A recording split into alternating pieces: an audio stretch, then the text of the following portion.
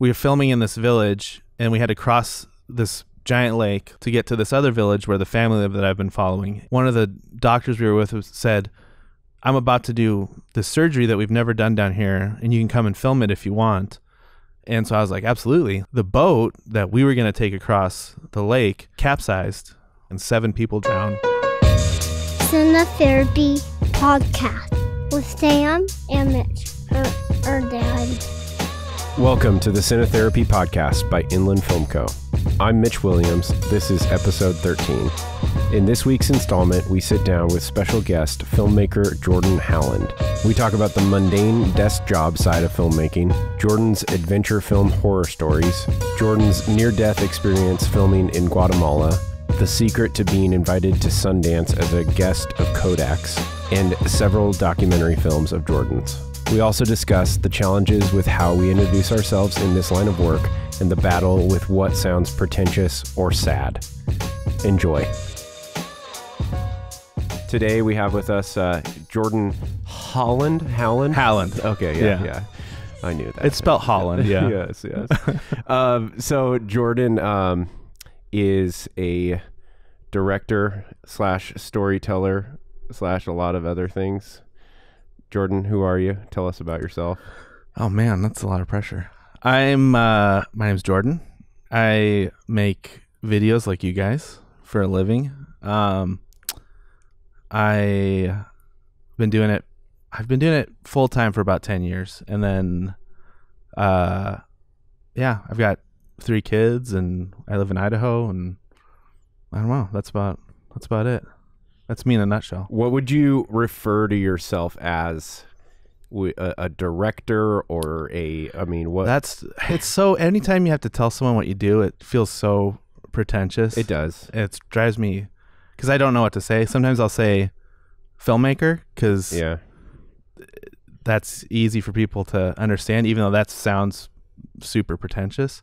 Or I'll say a director or video guy sometimes, like depending on depending on who they are and and how much I want to talk to them, it'll kind of determine how I describe myself.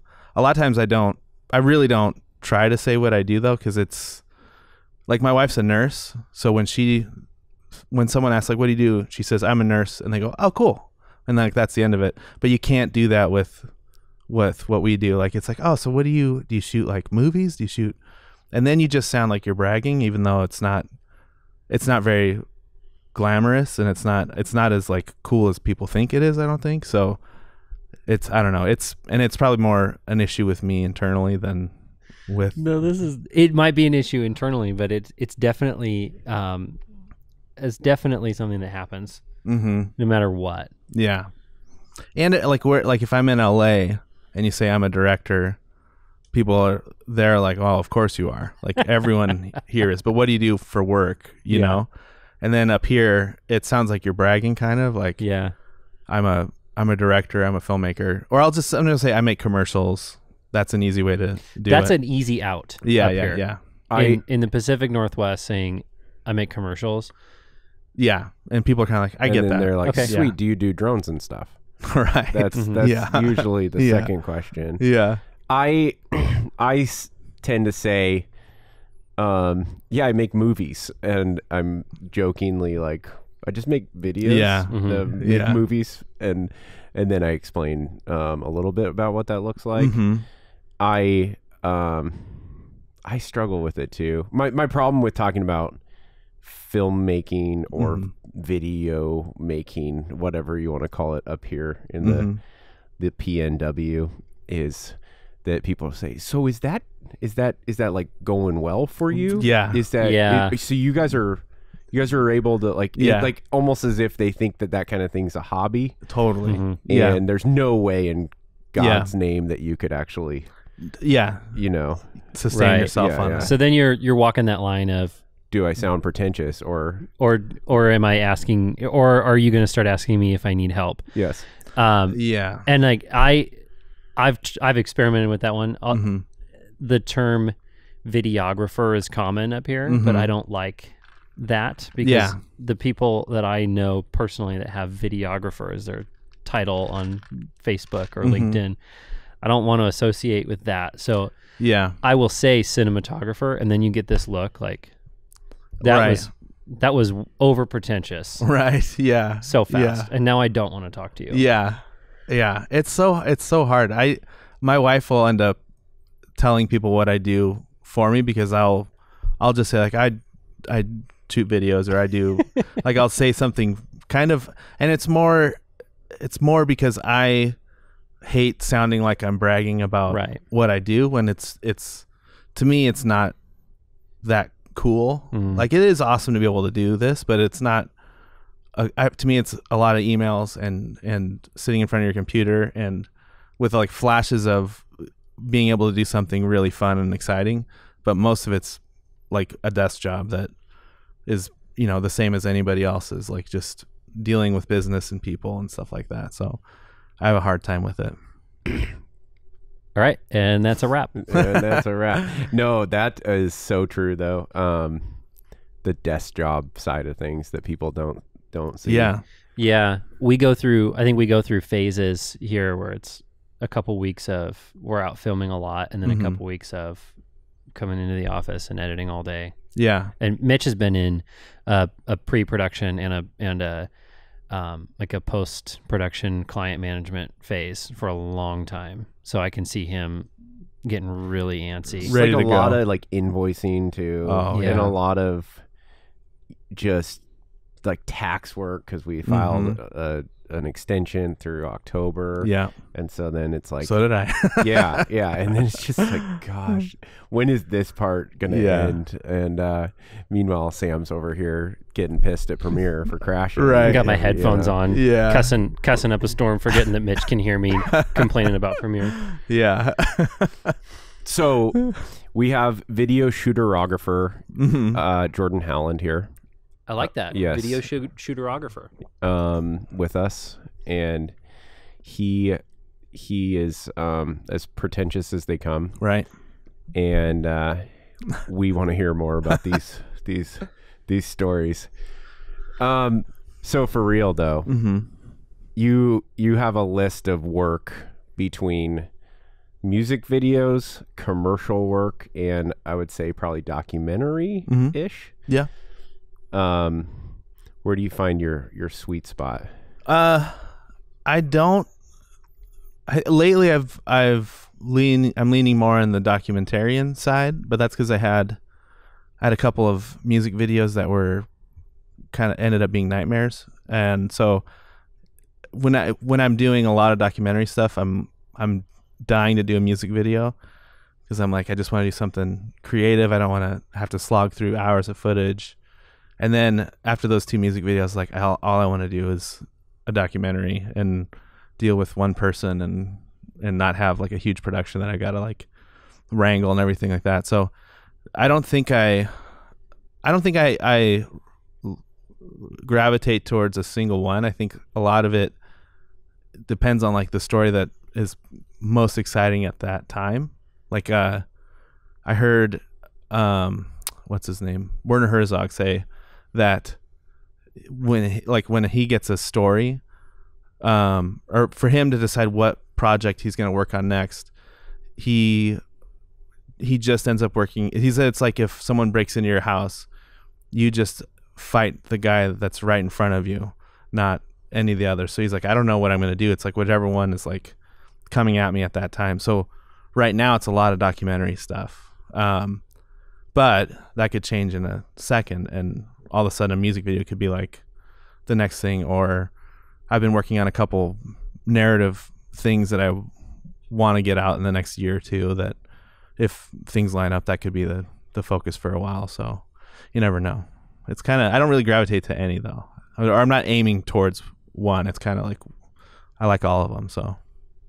There you have so many like cool projects um that you're either currently working on or that we've we've seen ourselves between um brighter night yeah and rusty's ascent mm-hmm.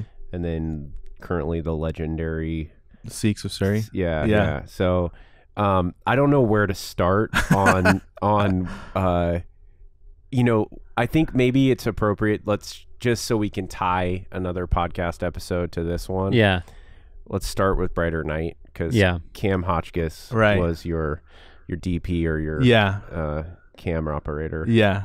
on that, and I want to hear some crazy stories about Oh yeah. about this. I think Cameron told about like. Did he tell you about falling in Yeah. under the glacier? Yeah. Yeah. Yeah. He said he was thankful he ate so many cheeseburgers because he Yeah. got stuck. Funny That was- story is that I don't think his wife had heard that story Really? until No. the podcast. Yeah, when we were up there, he's like, "I don't think I'm going to tell Hannah about that," and I was like, "Yeah, probably not."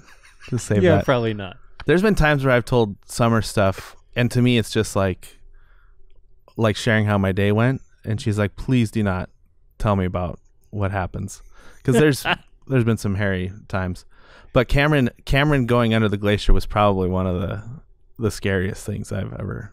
I seriously thought he's gone. Like he was sliding so fast, and the glacier you can just disappear underneath it, like get wedged, you know, thirty feet down because it kind of melts away from the the the ridge.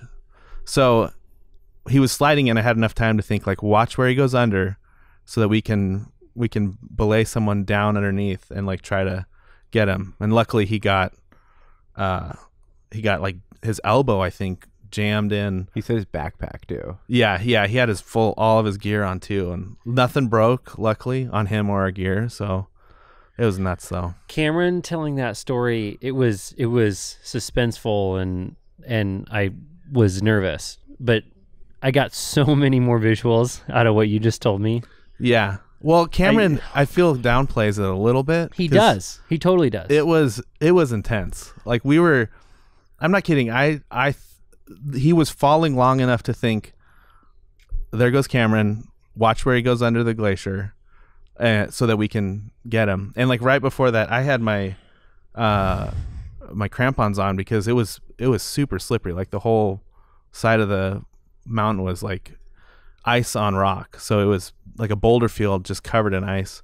And he I was like, You should put your your crampons on and he's like, I think I'm okay. And then we were walking up a different route, so I thought, Yeah, he probably he'll be fine. Like we're not going the same way we we went and and then he just it just took like like he slipped off a rock, but the whole thing was so slippery that he just kept going and was going fast, like like you would on like a water slide or something. It was nuts. And then he it luckily got jammed in a rock and He It would've said- been bad. He said that he thinks if he had his crampons on, though, he would have broken his leg. oh for sure, yeah, because it would have caught and then it would have just like twisted his ankle and yeah, it hmm. would have been it would have been bad. It, luckily he he didn't have them on after he fell because yeah, it would have been the, those those will save your life, but they'll also you'll twist your ankle so fast wearing crampons if if you slip or they catch in the wrong spot or you step on a rock wrong. It's it wasn't good. That was that was scary. That was probably one of the most scary things I've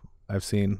But that was if that the kind of story you want for Well, you know, That I or- just fig- that's good. Yeah. It, it- it's uh, for people who haven't listened to Cam's story, you're getting Mhm. caught up, but also it's an opportunity for me to say, go back and start listening to our podcast. right, Right, yeah, right, yeah, yeah, yeah. For exactly. I think for me though, the uh, it's it's those kinds of stories, and then also fo- like following you on your Instagram story, seeing Uh-huh. you in where uh, where have you been in the last month? Oh, in the month last month I was in Thailand and v uh, not Vietnam, uh, uh, Korea, and then um, Canada. So, So like it's it's those kinds of stories, and then like watching you on the back of motorcycles with Yeah. these with these Sikhs, like with your Yeah. camera just like in your hand. right, I it's it's when when we talk about what it means to be a filmmaker, there's Mhm. this mysterious aspect to it that I see in you that is just beyond fascinating. well, that's good. I guess that's that's part of the reason to have Instagram is to build up the the persona. When it, when in reality it's mostly not that, but it's mostly not that, Yeah. but I think um, I think what what fascinates me about uh, at least just sitting down and having a conversation with you Mhm. is that there is something inside of me that is never never going to want to do something different than just constantly tell stories Yeah. with film. yeah. I I have to be doing I have to be doing this. And if Mhm. and and you know to see that in other people where Yeah. there's just nothing else. I, For for 10 years all you've been doing is just looking for stories to tell yeah. Yeah. Yeah. that fascinate you. Yeah.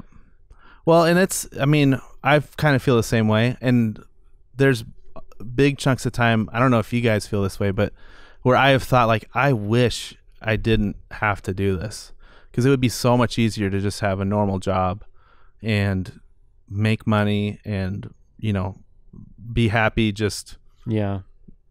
with a a regular life. But I've done I've had jobs where I'm not doing what I'm doing where I'm just managing a, you know, a youth program or things like that and I'm I'm going nuts the whole time and just like thinking about like all I want to do is go film something or or make something and and part of me is like man I just it, as great as this is it would be so much easier just to not have the desire to do it because then I wouldn't have all of the other stuff that comes with doing this job like looking for work and you know say, not seeing my kids as much as I do. Like there's a lot of I think that's the difference in when you've been doing it for as long as I've been doing it is the romance is kind of it's it's a job at the bottom line and there's a lot of stuff and I couldn't think of doing anything else but there's a lot of times where I just would rather do something else you Yeah. know I don't know that's a that's it's a it's a crappy place to be personally to know like I love what I do but I I really don't think it's for everybody Mhm. and and I can't be like those guys on YouTube that say like just go get a camera and start doing it cuz it ta you have to be a particular type of person to want to do this for a living and then to be able to to persevere to do it full time like there's there's a lot that goes into it. Like you guys I sure know like m- months where you're looking for work instead of shooting something. Yeah. yeah and and stressing about it. And i just in the last couple days i've had four jobs come in luckily because i haven't had any jobs since august you know so you're Mhm. kind of there's that ebb and flow where you're like this is rough and i also can't imagine doing anything else at the same time but it'd be awesome to be able to be like just a guy like I really wish I could just be a guy that worked at Costco or something like that. That would be so nice to not not do this, but I know I would go insane if I was that way. Like right now, I would go nuts. Yeah, I. It's interesting that you say that you wish. Like, I get that. I every time I'm stressed out to whatever end or direction, Mhm. I I think about the desk job that I had. Um, right.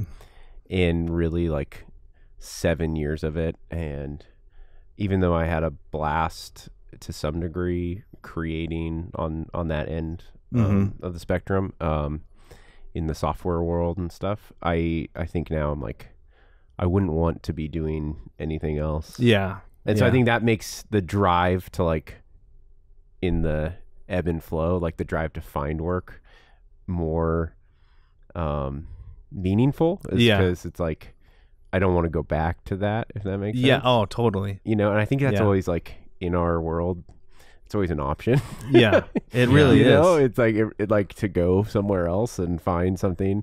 Um, at the same time, I think, yeah, we uh, we've we've had to manage that in our business of, so what do we know? You know, uh, it, based on assumptions from previous years, like Mhm. what we're gonna bring in on an annual basis. Yeah. So then within that, what can we write ourselves a check for? Yeah. like twice a month Yeah. so that we're not when we have a lot of a, a surge of you know invoices that have been sent and paid mm-hmm. that we're not like going out Going and just, crazy. like, going crazy and Yeah. spending all that Yeah. um that we're we're coming to a consistent that's helped us manage. I think those like slower months. Yeah, yeah. Um, wh- when you said traveling Mm-hmm. and uh, the you were talking about the mystery, Sam, of seeing Jordan out on a, the back of a motorcycle, all that stuff. That it it gives that like builds that persona, Yeah, so to speak. I think that one of the negative things in our world in in Instagram, um, social media in general, mm-hmm. is that we have to promote ourselves, but because to show that we're we're alive and yeah, thriving and but Yeah. at the same time I think sometimes while we're promoting ourselves we're actually like shooting ourselves in the foot because I think there's a lot of people out there that think that we're busier than we actually are. exactly. Oh, Mhm. totally. And I think it it it gets some people to potentially not pick up the phone and call. yeah, like oh, he's Uh, he's off yeah, doing something Yeah. right now. Yeah, no, I totally agree. Yeah. That's a when I when I left uh, the production or the producer job I had at a, another company to go freelance. Um, I started in, initially. I was very aloof about on Instagram and stuff about what I was doing and like the work we were putting out and stuff like that. And then after a while, and it was because I had seen that in a lot of other production companies where they just post like behind the scenes shots of, you know, cameras getting set up and and then you'd see a clip of something without a description. And I kind of just was basing that decision off of what I'd seen other companies do. And then I realized like and I started to think like what if I was like 19, 20 years old and just getting into this, what kind of information would I want about uh, production and filmmaking stuff? And I decided like I would love it if someone just laid out like here's where we are, this is how we do it, this is where we're going. So I I started doing that on my Instagram, and a lot of it is like I'll post like a pretty lengthy description of what is going on or where I am or what's happening, and it's because I want to show kind of the behind the scenes of of what's you know going on in this one single shot or what really got me thinking about it is I actually was at, at I was doing a music video for someone and we approached Kodak about using this um, camera that they had to shoot a lot of the they, they wanted like eight millimeter footage in it. So I approached Kodak and they said um, we'd love for you to use a, our cameras. We're actually going to do a training on how to use them at Sundance. Why don't you come as our guest to Sundance and use our cameras and we'll teach you how to use it and we'll get you set up with film and everything. So I was like absolutely. Like I'll I'll totally do that. So I drove down to Sundance like two days later and went to all these parties and like had an amazing time. And I was about to post like the first photo from that trip. And it was just of the Egyptian theater like the famous one that's you know everyone takes their photo in front of. And I was about to post just like a photo of it and say like you know at Sundance or whatever. And then I realized like that's so that's so lame. Like you know that's and it's it's going back to it's pretentious Yeah. to be like of course I'm here. This is where I am. This is what I'm doing. So I instead I did this long post about I am doing a music video. I asked Kodak for a camera. They said you can use our camera and we want you to come to Sundance. And just laid out like all, all of how that happened and then why it happened. Like it happened because I asked people. Like I asked if I could do this music video. The guy said yes. And then I approached Kodak and I asked them and they said yes and then that that led to this and that led to this and because I, I, I the point of it was to like show like I'm not in some special club when I get to do that stuff. I literally am just some dude that picked up the phone and asked someone. Looked I looked up on Kodak's website for a press release, found a press release, found whoever was on listed on the press release, emailed them out of the blue, and then they called me like 2 hours later. So that was the secret to that thing. There was no I'm not on some special list or anything. It's literally just putting yourself out there and saying, "Can I do this for you?" and them them saying, "Sure, let's do it." You know, and I think that is that type of thing is so needed within production because a lot of it is aloof and like just posting a cool photo and then saying like isn't it cool that I'm getting to do this instead of it being encouraging and and uh, inclusive, you know. I hear you. Yeah. That's a beautiful story. It is. Well, thank you.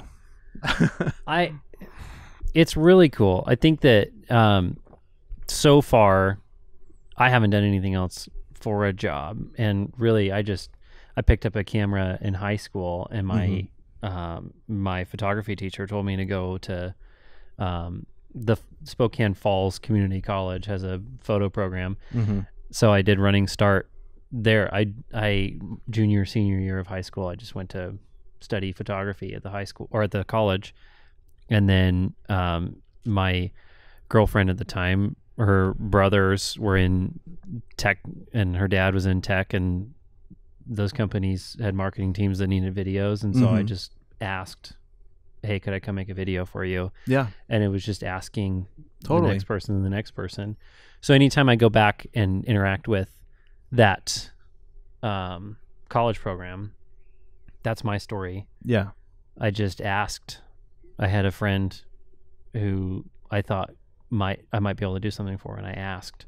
Yeah. So to hear your story of uh, that's so extreme. Mm-hmm.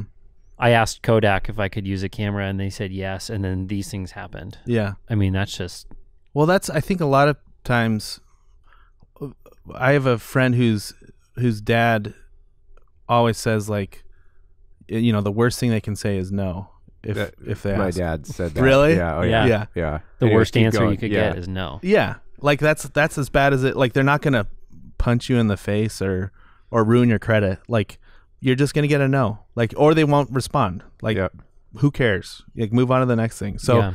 I I I don't think a lot of people do this, but I'll like dig on a company's website until I find someone that I think might I've done it multiple times with people where I've just like hunted down someone and then just ask them for something. And it kind of helps to have uh you know, a portfolio of work that I can show them and say like I'm not just some kid, you know, who has no experience doing this. Like I'm I'm serious. Like this is what I want to do.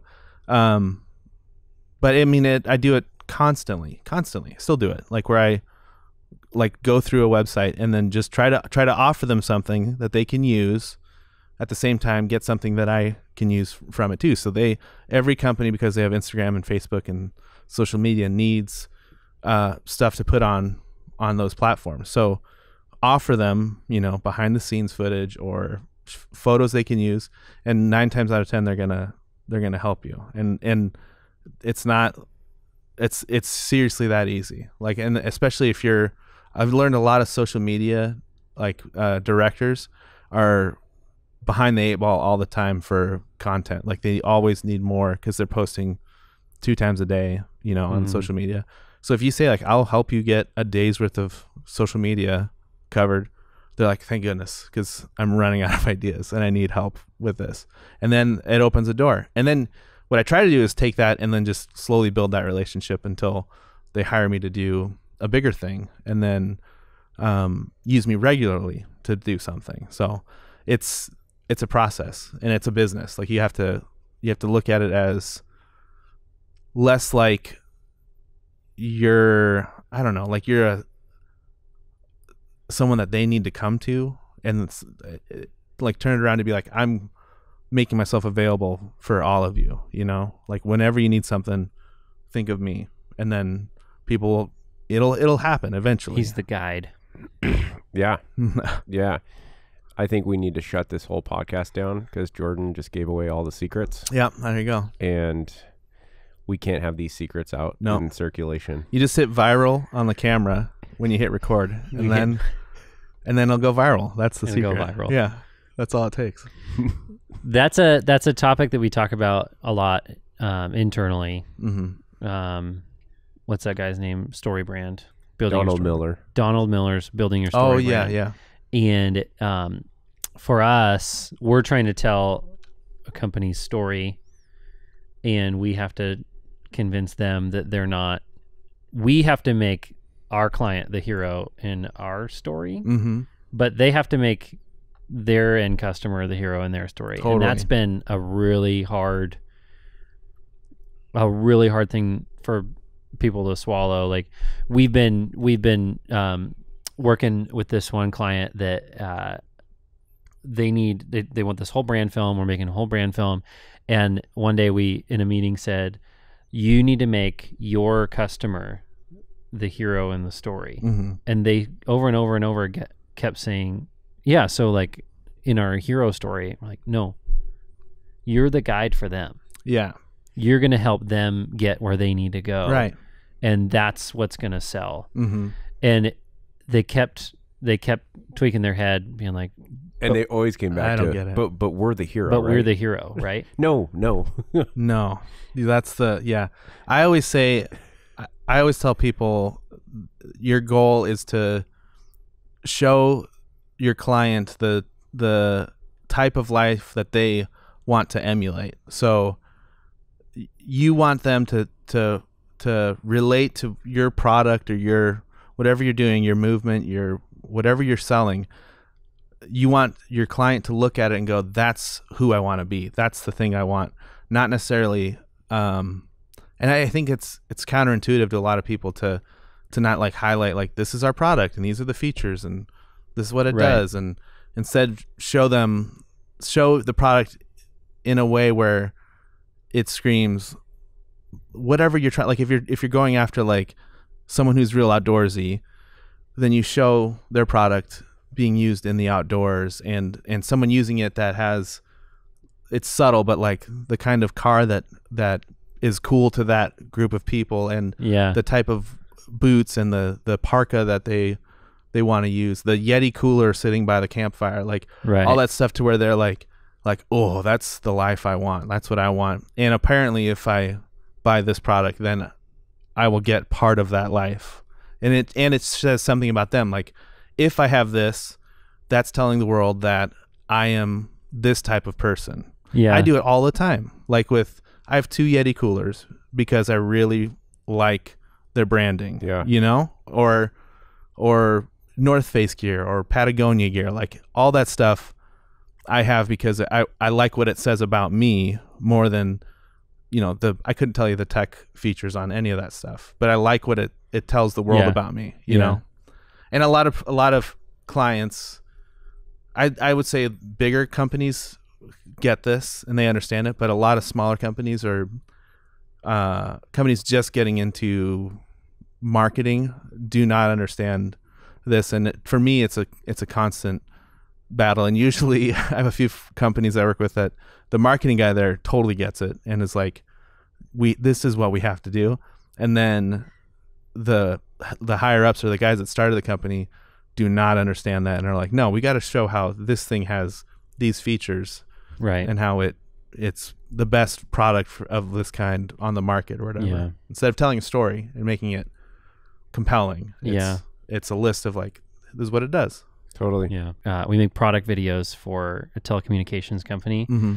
and they're they're in this weird, unique spot where I want to tell a story about the product, Mm-hmm. but really the customer on the other end is an engineer who just needs to know the facts Right. and they Yeah. don't want the story. Right. So anytime we've told a story, it's not gone well, but if we're only facts, it doesn't still kind of go as well. So it's Yeah. like this fine line you have to walk of story Totally. and fact and numbers. Mm-hmm. that's that's like understanding who the customer is Right. in that scena- Right. Scenario though Yeah. because there is Yeah. a time where i mean a manual is a perfect example of like Right. i'm not looking for a story i'm Right. looking at how to Yeah. install An explainer video. exactly. is- Yeah. Totally. Yeah. um so but that yeah but for the most part you know when it comes to especially b2c you know when we're selling to a consumer Mm-hmm. you know that's where story comes in Right. Yeah. Right. And there is a small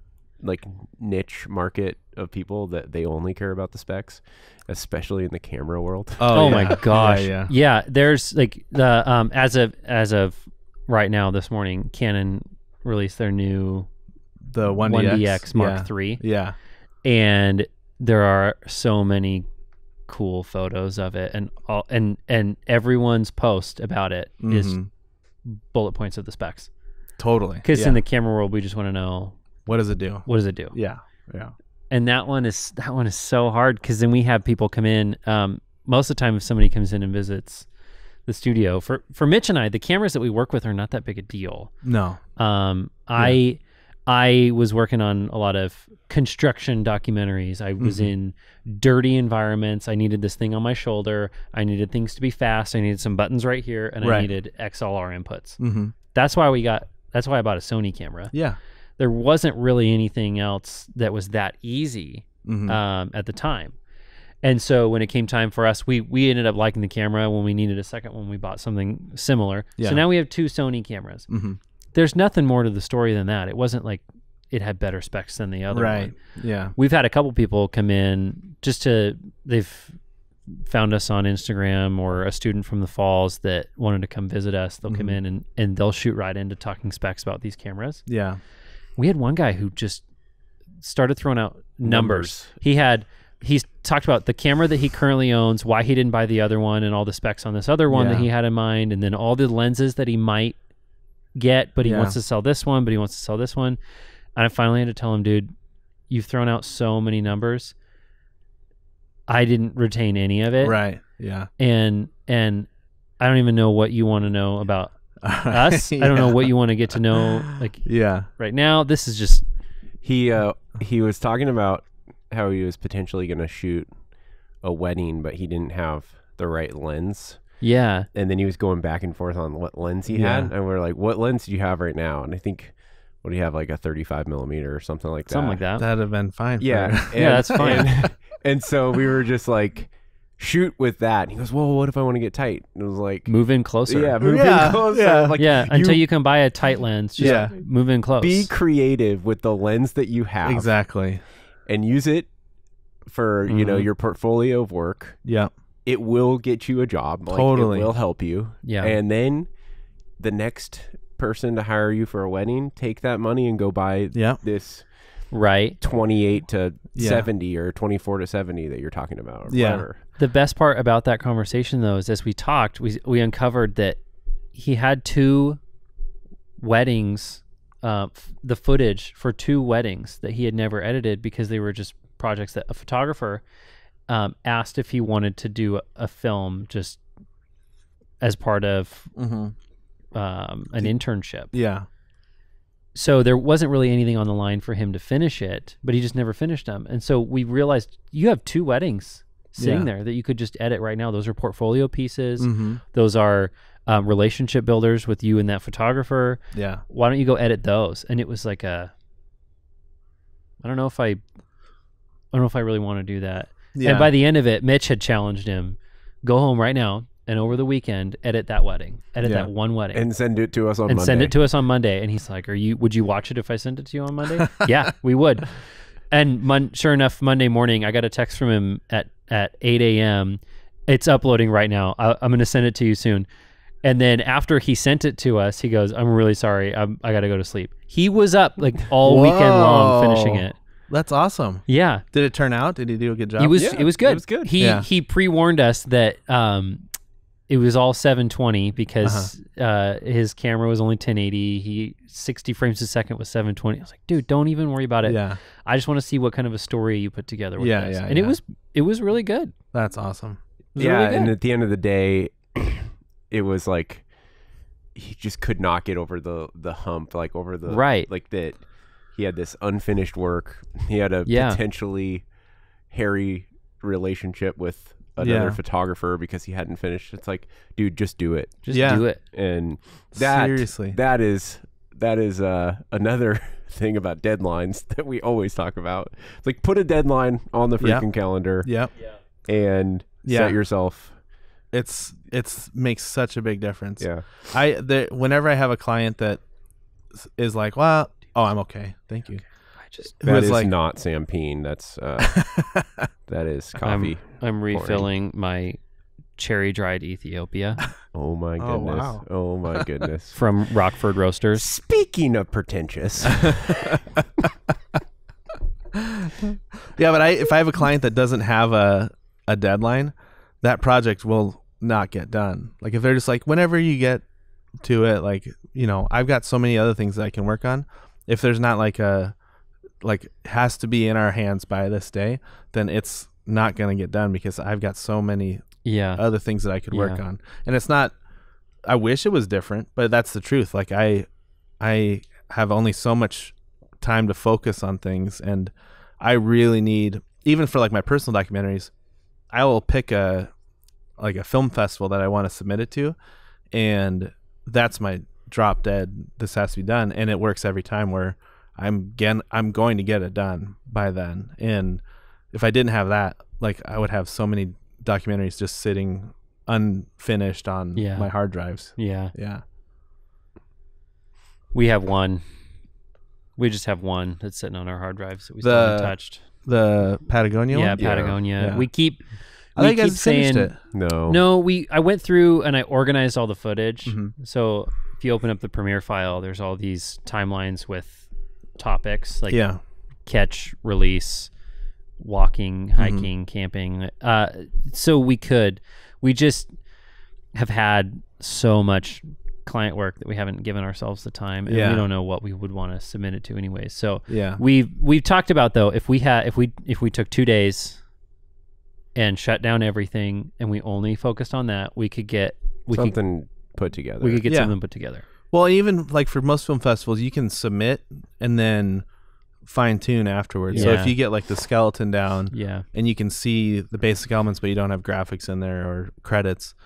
And the nice thing, especially with Vimeo, like a lot of festivals just want a Vimeo link, like on uh, Film Freeway, which is like the website where you can submit film to uh, every festival Hmm. that's we're submitting to through that website. Um, the you can embed a Vimeo link on your on like the submission page. So what I'll do is I'll just continuously I'll submit to a festival and then keep working on the project and just uh, re-upload it on Vimeo because you can like you know how on Vimeo you can you can You can re-upload over yeah. the same, so it's the Yeah. same link. Yeah. You can't do that on YouTube. Yeah. But and then like I'm constantly updating it and it's getting better. And then and a lot of times, you know, festivals will only they'll have a submission date, but the they won't get to looking at it for a couple weeks or a month or more. So you have a lot of time that To way to like to fix it. yeah, Wow. Yeah. yeah. That's a really good. I that's a first of all, I just wrote down Film Freeway, but second of all, Vimeo re-uploading the same file over and over. Yeah. that's a good idea. Yeah. Do you guys use Vimeo? no, so that's been a conversation internally for us that Yeah. we we kind of need to go back and I think for we would we we might go back and retrofit our current stuff. Mm-hmm. For most of what we do at Inland, it's commercial stuff, and and YouTube lends itself well to being Yeah. found. Uh-huh. um, there's there's some people on on marketing teams um, in San Francisco that have emailed us about possibly starting a project just because they rented an FS7 for a project internally and they couldn't figure out something and so they looked us up or they they found us on YouTube huh. trying to figure out how to use this camera. Really? So I think for the for our commercial stuff, YouTube has been a good choice. yeah. Um, but as we get more into the original content that we want to make, Yeah. I do think that Vimeo is going to end up. Vimeo, Vimeo keeps coming up. yeah, I we I at least want to put our documentary work on there, Mhm. Yeah, and then probably our commercial. Anyways, it's a Yeah. it's a we're, Yeah. we're gonna. It's it's on the on the task list. Yeah. And in terms of the Patagonia film, we have uh we put two days on the calendar like back in July Mhm. to just go to Montana and edit, and then those two days got just sucked up Yeah. by Yeah. all this commercial work, and Yeah. it really hasn't stopped. Um, we're probably looking to slow down enough in the mid November range that we're Yeah. gonna try to put two days on the calendar. yeah. Good. And, Or yeah. you know, after after you guys have your little baby girl, I'll just bring the hard drive over and Yeah. but we need to fi- we need to finish this this before like December because of I think that's you said mountain film. Mountain Films. I think it's probably February first is the deadline for Oh. Mountain Film. Yeah, but still, I'm not gonna. Yeah, I'm we not didn't need to know that. Yeah. Let us. You should have Oh just no, said it's December, December. so that December, we would. yeah. December yeah, that's 12th. right. Yeah. December twelfth. yeah, nice. Yeah, I have a couple projects that I'm planning on submitting to Mountain Film, and that's my that's the internal deadline that I have. One project I've I started shooting three years ago, and has just been sitting for like a year. And I thought last year I'll have time. I was gonna get two films submitted to Mountain Film, and had time just to do one. And so then, which kind of sucked because I knew at that time like that means I'm not gonna do this one for a while. But now it's basically the only one. If I want to have things in festivals this year, I have to get that done. And and uh, I, I kind of feel like if you don't if you don't get like for for like once you start getting into the festivals, if you don't have something consistently that you're submitting, it's easy to get forgotten about and and and it has led to a lot of work like going into festivals. So it's it's a key part of like what I do now is submitting to stuff. So It's cool. I think you guys could do it too for sure. Like the Patagon the stuff that I've seen of of that trip is pretty amazing. You know, thank you. Yeah. Thank you. Yeah, that's thank you for that. I think um you're it was it was through getting to know you that we've we've really thought about getting Mhm. serious about that.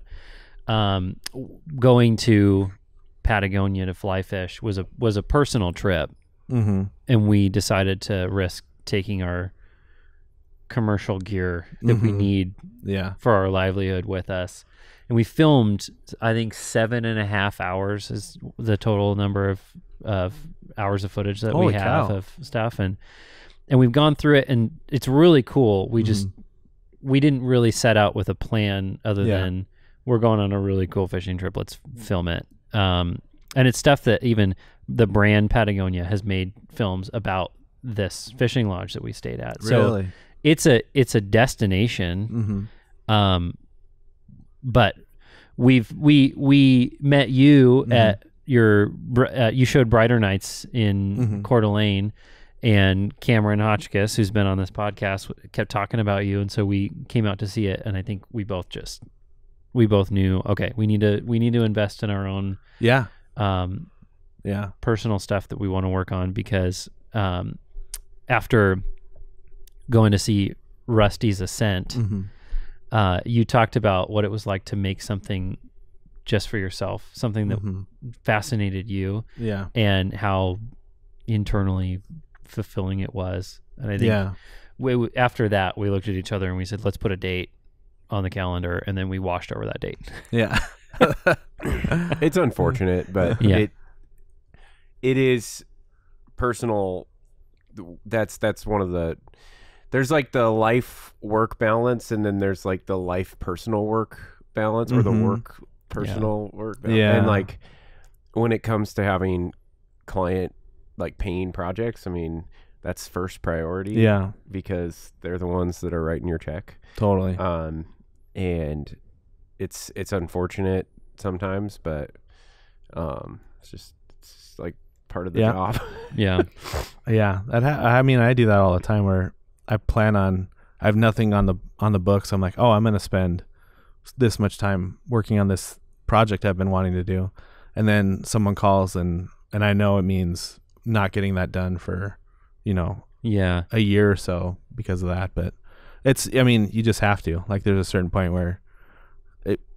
Sometimes I'll I'll kind of pay myself to do something like, uh, like Brighter Night was self funded, and I, um, I had a big job come in, and then I just set aside the money to do Brighter Night, and then called Cameron up and said, uh, "Do you want to come? I can't pay you, but do you want to come and help shoot this?" And then called a couple brands, and they were on board, and, and so we made it happen. And especially when they didn't they didn't have to put any money down, they're they're pretty pumped. So it was it was one of those times where like I I just like sitting out with my wife and like I need to take a certain chunk of this money that just came in and use it towards that. I did the same thing. I went to Peru and shot a documentary and had a big job come in and then used part of the money from that to fund that trip because it was a story that I really wanted to tell. Um, but I mean, all that personal work like is built off of on the backs of like years of doing other stuff to where I could have a job big enough to where I can set aside a chunk of money to go shoot something that I really want to shoot as opposed to another branded documentary or something for a client. So Yeah. That's that's that's rad.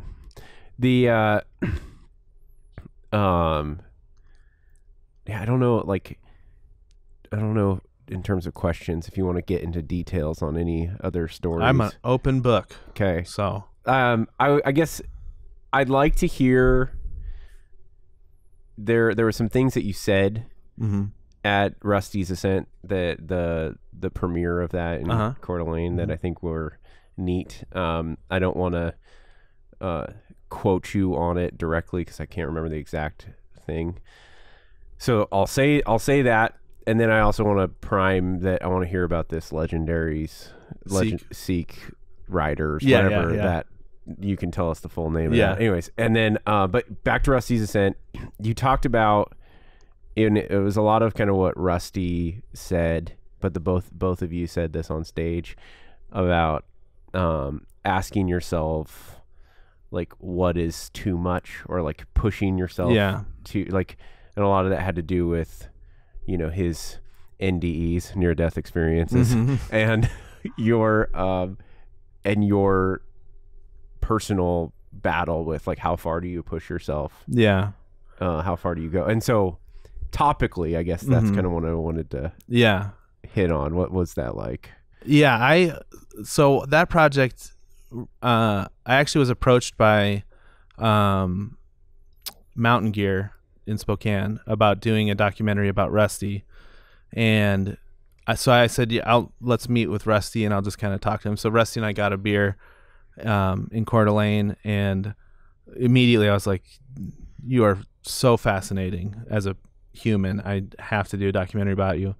And then Mountain Gear uh, decided they didn't want to do the documentary, or they they were going to put their money. They do like a really cool climbing festival in like Nevada, and they're like, we can either do this documentary or we can keep doing the festival that we've been doing for years. So they obviously chose to keep doing the thing that's working instead of gambling on a documentary, which I totally understand. And Paul Fish is an amazing guy that that I have so much respect for. So I I wasn't hard feelings when he decided not to do it, but I kind of told him like I'm still going to do this because I really want to get to know mm-hmm. Rusty.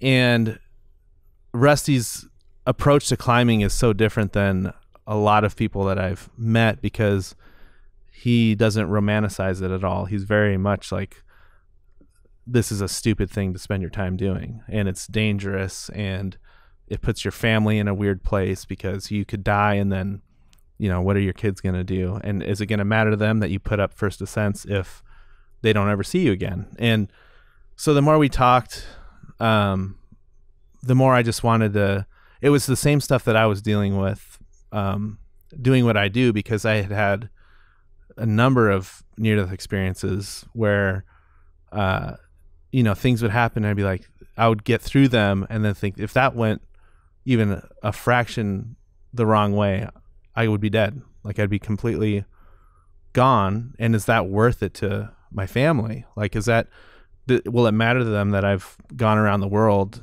doing this job if it means that they never see me again. My kids never know their dad you know? And so that that it really started to weigh on me heavy. And um and then on the same side though i know i would be if i was just staying home all the time i wouldn't be any good to them either. And rusty says the same thing like this is i know how stupid this is to put myself at risk but i also know if i don't i'm no good to my family so then finding that balance was kind of his what I wanted to cover in that documentary. And I and I loved how Rusty so much of adventure film filmmaking is triumph. Like like you know, Free Solo is a beautiful film, but it's triumph. And I, I guarantee they would have made it if it wouldn't have worked out too. But so many of those films eh, are about making the climb and and succeeding and and success and there's a few guys that I think really do a good job of of showing both sides. Like Renan Ozturk is phenomenal filmmaker that shows like how, the struggle of doing it too. He's got a number of films where he he's shown how hard it is to to accomplish these things and what toll it takes on your relatives and family and Jimmy Chin too does Mhm. that. So and that was it it was always frustrating. I still get frustrated when I go to a film festival, an adventure film festival and it's just film after film of ski porn or climbing porn or you know with no real stakes like them getting to the top or having a successful run is not is not those aren't real It's stakes real, yeah. yeah yeah what's what's real and what's more relatable to a larger audience is like an internal struggle like am i doing the right thing for my kids? Like that to me is way more interesting than am i going to get to the top of this spot? Mm-hmm. And rusty's story w- was so perfect. Like he literally says like everest is just a mound of snow. Like that's all it is. And like to me that was what i wanted to show. And what i was dealing with personally was is this okay? Like am i doing the right thing or am i am i being stupid with my time? Uh and through that process i learned like i need that's how i make a better film is if i can personally relate to it and and try to answer a question that i'm dealing with rather than just trying to tell a cool story. Um which i guess maybe that's part of like growing as a filmmaker is getting to the point where you're you're saying something that only you can say because it's something that you're personally trying to wrestle with you know That is fascinating. And um, were these near death experiences that you had yourself? Mm-hmm. Were they doing? Were they like in the adventure sport type? No, uh, the last real one I had was in Guatemala last year. I was filming. I've been to Guatemala four times, working on a documentary that hopefully will come out this year. Um, and this last time I was there, we were we were filming in this village, um, and we had to cross this giant lake, Lake Atitlán, to get to this other village where the family lived that I've been following. And um, I, we're about to go, and then uh, we we work with a hospital there, and one of the doctors we were with said, "I'm about to do this surgery that we've never done down here, and you can come and film it if you want." And so I was like, "Absolutely! Like that sounds amazing." So I got you know suited up for the surgery, filmed the surgery, um, and then came out, and there was a weird air in the hospital. Like it was really quiet, and you could kind of hear a couple people crying, and it was very it's a bustling place like it's a especially while we're there there's um, a few hundred people getting eye surgery like through the week. So it's it's packed with people. And it was really eerie. And then i met um, with the guy that was going to take me across the lake. And he's like there's no boats going right now. And i was like really? Like we can't get any boat? And he's like no all traffic on the water's been stopped.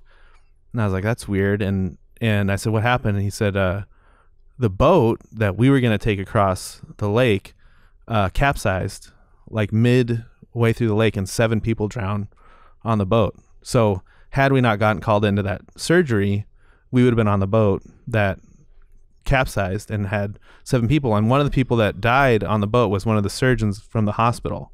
So it was and they shut down all uh, water traffic for three days while they investigated and and looked into what happened. And what it ended up being is it was it's a really windy area and the waves are pretty high. Like they can get white caps and choppy. And these boats are fiberglass um, boats with an outboard motor on the back that hold maybe 30 people.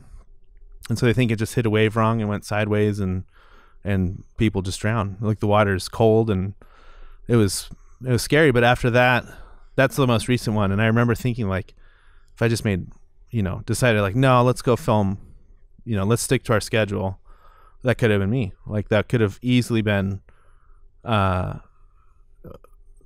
like the death of me and and the guy that i was with. And there's no guarantee that you know the next time we go do something like that that it isn't you know? And so those are the kind of things like that i kept happening. It, it doesn't happen a lot but whenever they do happen i think about like like why am i doing this? Like like is this worth you know the cost to my family to to do this stuff. So, um, yeah, that was a that was a pretty crazy one.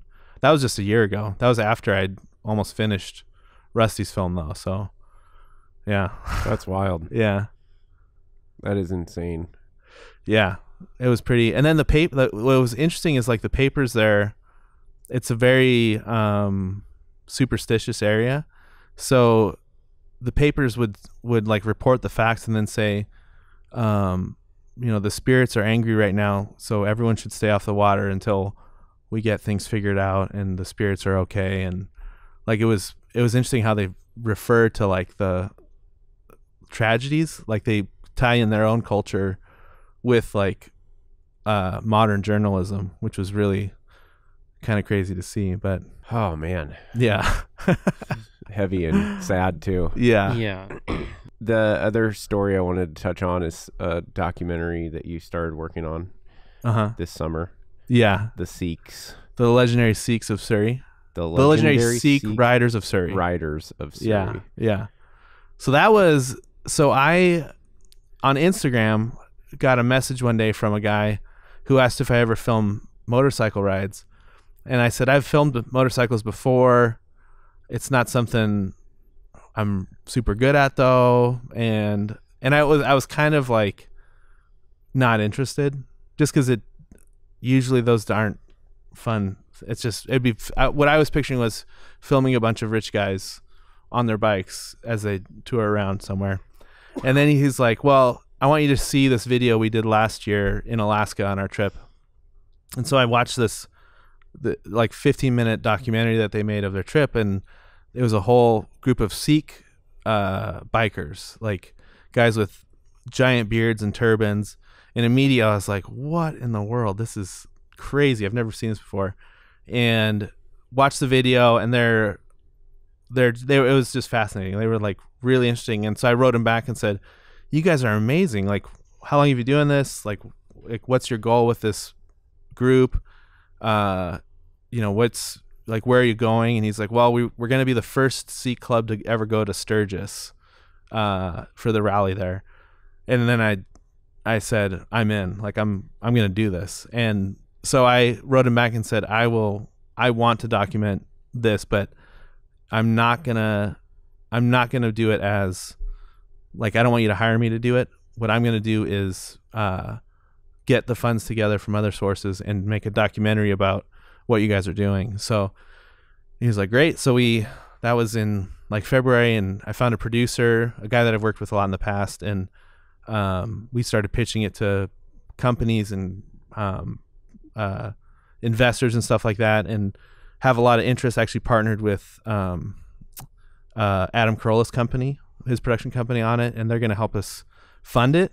Uh, but in the meantime, I still had to shoot the whole thing. So our go- we wanted to have all the money before we started filming, and uh, the timing just didn't work out. And Ad- Adam's people said like, even if we had the money, like the the lawyers and stuff that would take the contracts we'd have to fill out, you would not get it before you shoot. So just go shoot it, make a sizzle, and then we'll find like the right investor and make it happen. So, so I left for two weeks with them and just documented their whole ride from Vancouver, British Columbia to Sturgis, and then through Wyoming, and then back up to to Canada. And then uh, a couple weeks ago, I left, went back to Vancouver, and kind of did the second half of the trip, which was telling their their the story at home, like who they are as as individuals and what they do for work and and all that. So that'll be like the first feature length documentary that I've done, and um, it's really fun. It's exciting. It's also kind of nerve wracking at the same time. Like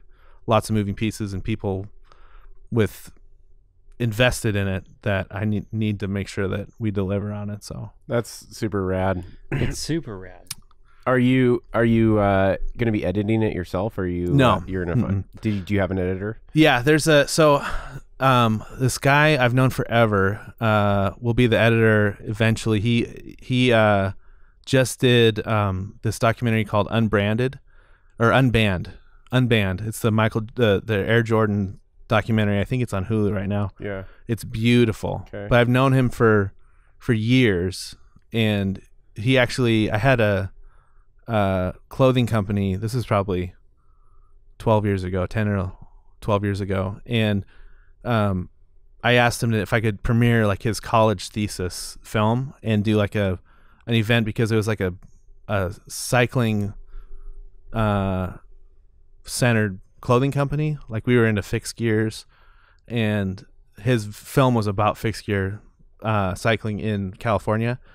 And so since then, we kind of stayed in touch. And I'll go whenever I'm in LA, I'll try to hang out with him. And he's become this phenomenal editor that's done some beautiful documentaries and worked with North Face and and we've we've literally been trying to work together on stuff for um, the whole time, pretty much. And this project, I told him like, "You're the editor. Like, I don't care what it takes. I'm listing you as the editor. This is going to be the one." So, so once we get the funds in, then he'll take all the footage we've shot so far, and we're going to do a couple more trips to Vancouver, and then a trip to India to kind of get the the second half of the story is like where they came from and Sikhism and um, the the the like the is it the tenets the tenets of their religion? Yeah, I right? think it probably. yeah yeah. yeah so so it's it's a lot of work but uh, it everyone's excited about it that we're working with so that's good That's rad. yeah That's rad. Well, all the stories that you shared on Instagram and and the pictures and, Mm. and Yeah. the backgrounds of the individuals and your descriptions. It's oh they're yeah. they were uh, the most the the coolest group of guys like like i watched them get hassled by people and instead of getting mad or flipping out on them just just being completely cool with them and not not in a pandering way or like they're trying to win them over just being like like almost like saying like i see you. I see you. Like Mhm. you don't need to do this. I see i see you and it's okay kind of thing. Mhm.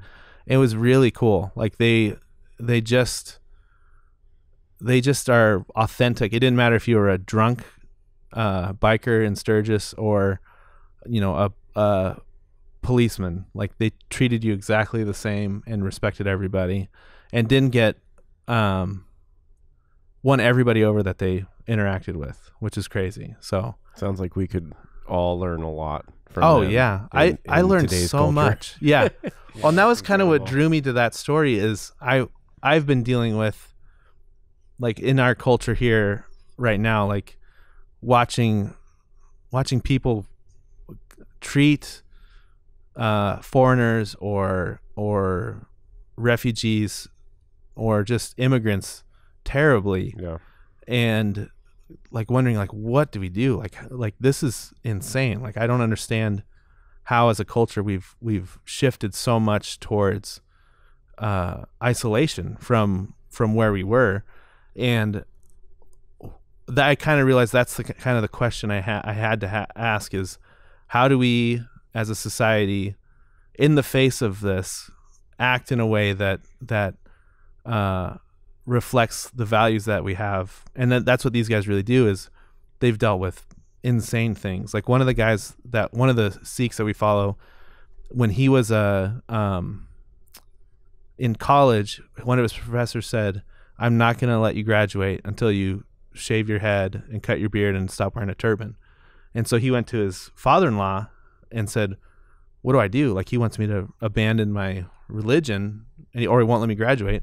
And his father-in-law who was sikh also said shave your head. Like you got a family to support. Like don't mess with these guys. Just do what they say. So they all when they're younger set aside who they really were uh, to fit in and to make a living and change their names. Like the main guy in the film his name's malkeet. But whenever he wrote that on an application nobody would call him back even though he was highly qualified for the jobs he was applying for.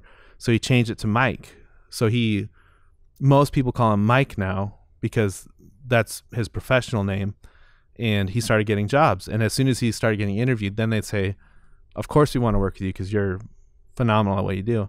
Um, and they all had to make those sacrifices to just to be able to get by in the 70s and 80s in in Canada. And and then they all got to this point where they're like I can't do this. Like I'm gonna go crazy if I don't um, be who I authentically am and started growing their beards out and and embracing their culture. And I wanted to tell that story of of going through that and like how they how they decided to deal with with um, opposition like the most graceful p- way possible uh, and how and to me like that's the question i wanted to ask myself is like how am i going to do this like how am i going to interact with people that do not say this or do not hold the same beliefs that i do in a in a way that's loving and graceful and um not at all pretentious or or Yeah. or Hmm. bigoted Yeah. towards what they believe you know Yeah. Do you have some other questions you wanted to ask? I don't really have. Um, I didn't really have too many questions. I I wanted to talk about Rusty's Ascent, and that went really that went really deep. I'm really thankful for that. Um, the only thing I wrote down is I liked the sound design. oh thanks I well, like most of the story in Rusty's Ascent is is uh, photographs Yeah. with Rusty telling the story, and there's just Mhm. sound design in the background. yeah and, yeah and I didn't even really notice that until the end. And Yeah. and all of a sudden I thought back and I realized there's not much footage that you had to film. no And um and yet I was locked in the whole time and and you worked really hard on on the sound of the ice cracking and walking Yeah. and, and and it really instilled anxiety yeah the whole time. That was it was hard. I had uh my buddy coulter um help me with the sound design and he kind of i kind of showed him what i wanted and laid out like it needs to feel uh like um you're there. Yeah. like you you can hear what's going on but it can't be overpowering to where you you're not paying attention to what they're saying. So we actually pulled out a lot of we had a lot of like sound of ice cracking and stuff like that and pulled out a lot of it um from the interviews because it was almost distracting when you didn't see the pictures it was it was distracting from what Hmm. rusty was saying but as soon as the photos were up there you could add those cracks in and stuff like that and then it totally made sense but yeah it was that's a big thing that um I try to do in a lot of those projects is is the sound design's almost more important than the the Yeah. visuals. Yeah, mm. it was it was a it, it was a really beautiful way um, to tell that story, and I think I I haven't I it's not often that I get lost in a story that I'm I'm watching, Yeah. and that was one that I uh, all of a sudden um, when it was over I snapped out and realized I was sitting in a Yeah. In oh, this room that's full of that makes me so happy. Cuz that's what I do like I it, I love I'll watch something and I'll think about the mechanics of it. yeah Like, oh, I see how they or they probably cut to that shot because this is a spliced together interview. That's why they went to that second angle or and anytime that I'm just like in the story and I don't think about like what they're doing, I I love that because Yeah. I I especially like when you do this for a living, you see all of the seams and all of right the right and it drives me crazy to to be pulled out of the moment and and see that stuff. yeah But when I can just like watch something and just and enjoy a story, I love that. Like that's my favorite thing. Mm. my I've said this before, but my wife oftentimes will say, "Tonight I want to watch a movie. I don't want to evaluate cinema, please." so like that is amazing. we um we watched Toy Story 4 the Uh-huh. other night. We went we took we took our son to go see it in theaters. It Mm-hmm. was so cool. I think they they definitely wrote that story for the the parents Yeah. that were kids when that came out. Oh, really? Like, yeah. um, we, my wife and I, were locked in. We were asking our four-year-old to, like, we were aggressively asking him to sit down, be quiet. We're trying to, Yeah. Just this was so good. um, but we watched it at home Uh-huh. the other night, and I have seen some different uh breakdowns of like what Yeah. Pixar did yeah. to film or to make this, and they Mhm. designed um like most of the shots of Woody hmm are basically designed around the spherical lens, and a lot of the shots of Bo Peep are designed with anamorphic lenses because she's accepted change. She's she's accepted. Really? Um, So they designed it to look like the lens flares. yeah, they or- modeled they modeled specific Wow. lenses for this, and they they are open about the animators are open about what lenses they modeled them after. So like That's they're the amazing. Cooke anamorphic lenses that are on Yeah.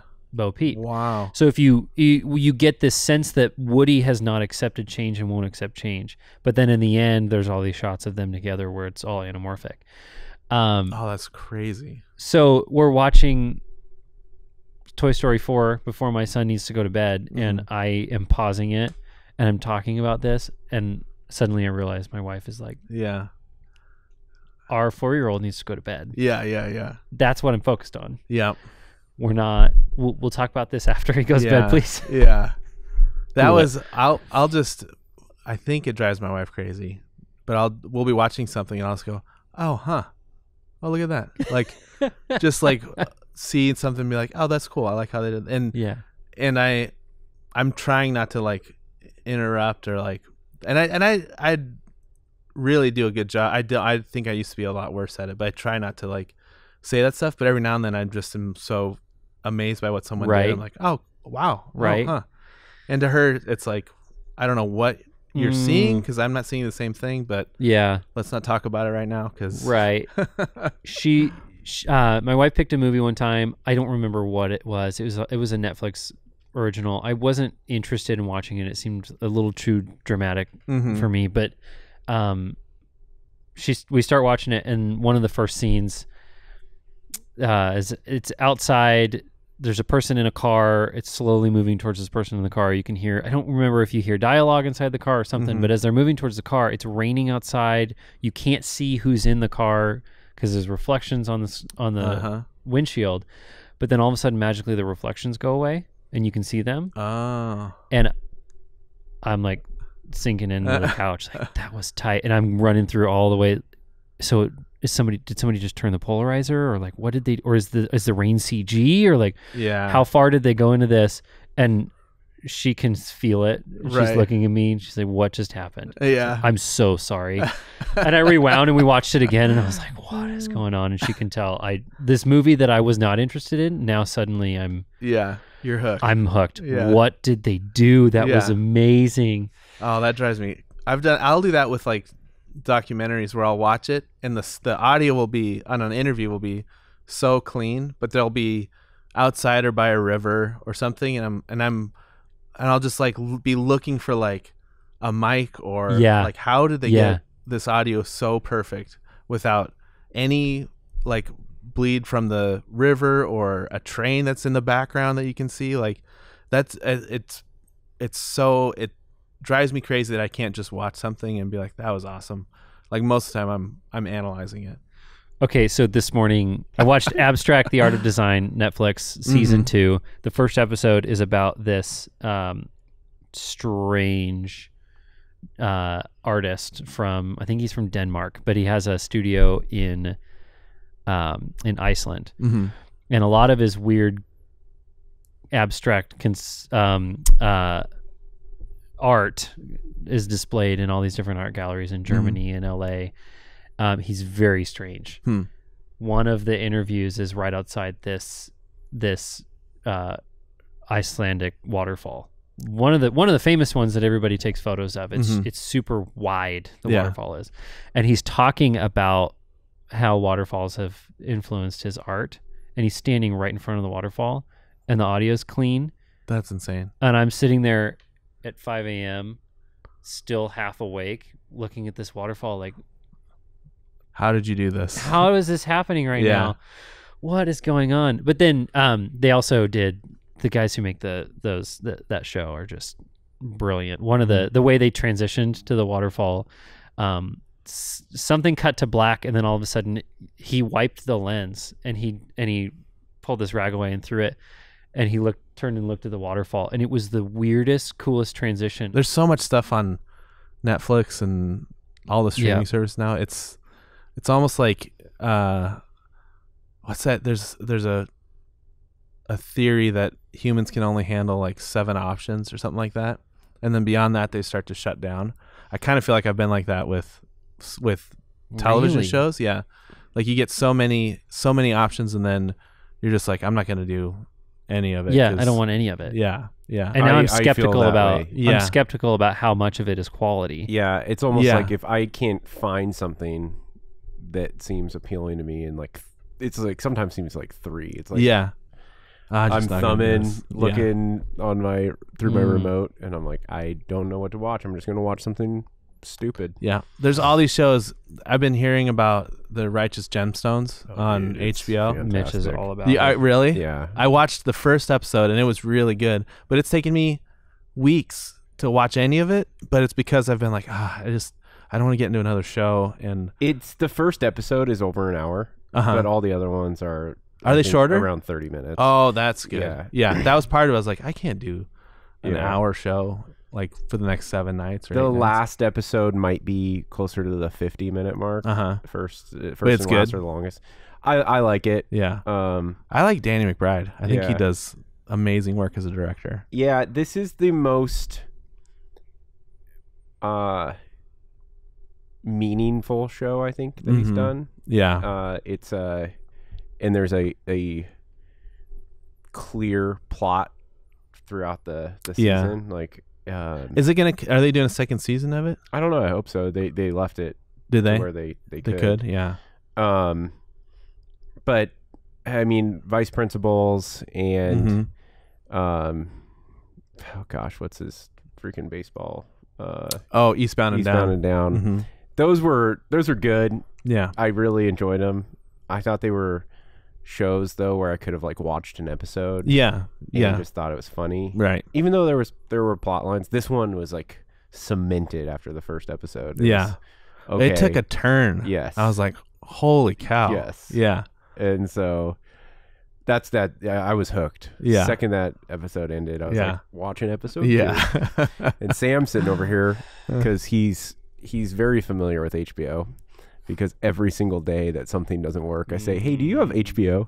Because Sam should have HBO. our AT and T account. We have we have free HBO with our AT and Oh. T account. But but I- uh, something something happened when when I don't know. It's, DirecTV. it's and through the- DirecTV Uh-huh. now or Mhm. DirecTV Go. I don't know which one. And there's an error with our our account because Oh. they added free HBO with our yeah. AT and T account Yeah. somewhere in there, but we were already paying for HBO. So So now there's I think error. when we took out the payment, sent like HBO's our account is just errored out, and we've got on the phone with customer support with AT and T, Directv, and HBO, When he and says it's gone we, nowhere. He means his wife. My wife and I both Uh, have done this, and we've gone nowhere. And so at this point, we're just like, well, we have free HBO, but we don't know how to use it, and it's just out That's there. frustrating. I just So love every them crap. time Mitch Yeah. brings up this show on HBO, any show, there's so Yeah. many different shows I want to watch on HBO. yeah. Barry is another one that we talk about all the time. Barry is good. Barry's really good. Yeah. I watched first season, uh, and then my HBO account had problems, and I have Yeah. not been able to. Chernobyl. That's- Oh, Chernobyl. Chernobyl. Oh so my every gosh. time something isn't working, or or every time I have something cool Mhm. that Mitch doesn't, he'll look at me and go, "Do you have HBO?" That's awesome. What about Succession? Have you watched that? I I watched half of that. I I liked it. It was it wasn't something that got me hooked though. So I haven't been like I don't know. Someone told me yesterday about it's uh oh it's the it's Chance the Rapper's uh show on Netflix. It's like it's like The Voice, but it's just for hip hop. Okay. and they said it's amazing. And then I, on Instagram, a few people have posted about it, how good how good it is. And I don't. I used to feel like, oh man, I gotta watch that now, and now I just get a little bit of anxiety or like, oh, when am I gonna have time to watch? Yeah. You know, it's a weird. It's a weird. I don't feel like when there was only so many cable channels, like, and you would DVR something. I never felt that way. Or or when a movie came out. When a movie comes out now, there's very few where I'm like, I'm going to go see that. Like most of the Yeah. time, I'm like, oh, I gotta make time for that. And maybe that's just being older. I don't know. I'm kind of a curmudgeon, I think, on a lot of stuff. No, I But hear I- that. I like I like when I can get into a show and I just have to watch all of it. I personally think I enjoy shows more when they release every week Yeah, now. yeah, I uh, I- totally. I can do the binge of Stranger Things like yeah, I'll do that, but I like following a weekly schedule Yep. because then I know that Wednesday night for however many weeks, it's Handmaid's Tale. exactly. Yeah, and you're Like, yeah. anticipating it. Sunday night for however many weeks, it's Succession. yeah. right. and whatever. Yeah, yeah, like yeah. that's how. And then I'm not, Yeah. and I don't get the anxiety of like, what show do I watch tonight? Yeah, yeah. I, it's I know this one's on Yeah. at this time. Yeah. that that that's where I feel old school. too. Yeah, like totally. it's- Yeah. That was like uh uh what show was it that Looming Tower. Have you seen that? No, but that was a Hulu. Yeah. yeah. Yeah. And that one I got into and I would wait for it to post every I think it was on Sundays. And my wife watches um Handmaid's Tale and I'll watch it whenever she's watching it, but I don't really I haven't watched all the seasons of it, but that's another one where Mm, when it's on I'm hooked. And it's more it's more that one's more for the cinematography. yeah. Oh my gosh, that show's It's- amazing. It's phenomenal. Yeah. I love that show. She, my wife, actually was like, "You should watch this just for the cinematography because you would go crazy." over. Yeah. I think one one of the other aspects of, of shows releasing every week is is the the community Mhm. um, interaction around it. When I can get into a show with our kids too, that's the best. And they're like, Mm. like I, they didn't watch the first season of Stranger Things before I did, and then when the second one came out, we all stayed up until midnight when it released, and then watched as many as we could in a row, and then did the rest in the morning. Like, it How old are your kids now? I have two 14 year old boys and then an 11 year old daughter. So they're Yeah. full on teenagers, which Yeah. is fun age. I do remember getting into shows as a as a whole family. oh, yeah. Um, we're not there yet with our with our toddlers. It- we have to really get into Ferdinand or or Toy Story or something yeah. that's like yeah. I I have to get into this because I'm gonna have to watch it ten times. Yeah. But I I remember how special it was to Yeah. to sit down and for um for me it was The Office Oh, yeah. Yeah. or Lost. We watched Yeah. Lost as a family. Yeah. Yeah. That's our boys just started getting into the office and they're like into it. And w- one of our, uh, Gavin, my son Gavin, he the other day was like, I feel like I understand so many jokes now that people have been saying for years that he just didn't that are like office references that he yeah. had no idea were office references. Yes. Yeah. And you don't realize how oh my much gosh. impact a show has on culture until Yeah. you don't you don't understand like what uh, assistant to the regional manager means until you know and then you watch it like oh my gosh that's why people say that one Yes. I love it. that is so great. Who who would you consider like your favorite director or like who do Oh, you do you- man. like directors plural is fine. Yeah. Favorite movies. oh that's so hard there there's so there's two films that i always go back to and i watch at least at least once a year um one is it's a wonderful life is one of my favorite films i think it's beautiful and there's there's a couple of scenes in that that on their own if it was a short film i feel i could win an oscar just for that sh- scene. Um but i love i love that film. And then uh iron giant by brad bird is another one that's I, I love it. It's beautiful. It's like a it's an animated one that was done in like 99 yes. Yeah. I, was wondering if I was thinking of the same. yeah. Yeah. It's Iron one of my favorites. Yeah. so those those are always near the top, and then the the rest of the list it Brad Bird changes. did uh Incredibles too. Yeah, Yeah. yeah, Yeah. Really. he's He's- amazing. and he's the voice of um Aunt uh uh Edna, Auntie Edna. Oh Mhm. yeah. yeah. he he's from Kalispell, Montana. Really? Too. Yeah, No originally. way. Yeah, Yeah. I think he moved when he was in grade school or high school, Yeah. but he's originally from Kalispell. That's Wow. awesome. Yeah, but yeah, he the those two stand out. Directors that I love, Spike Jonze. Mm-hmm. Uh, I grew up skateboarding, so I w- watched all of his skate videos when I was younger, and then just kind of anything he put out, any music video or anything, I would watch, and and he's someone I I love his work. Werner Herzog is another person that I I don't love everything he puts out, but the choices he makes I really like, and um, he kind of does the same thing where he deals with uh, he uses the story to to dig into like a bigger existential crisis that humans have, which I really I really like that type of storytelling. Steve McQueen, I really Mhm. like a lot. I think he's amazing.